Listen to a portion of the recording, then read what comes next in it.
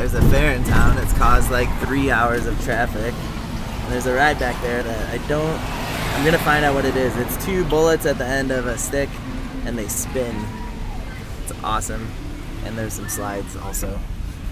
There's no lines though, so that's good. No lines. But the traffic uh, has been awful. Cloudy day. We are headed towards the hot springs of Colorado. Beauty Hot Springs. It is Clothing optional. clothing optional. So we'll have some fun with that, I'm sure. And I don't know, it should be an interesting crowd. We're gonna be checking in there tomorrow morning. Tonight we're going to a national forest. So I don't know how wild the uh, Sunday crowd is gonna be. But we'll, we'll keep you posted. We'll try and get some video. I'm sure it'll be entertaining.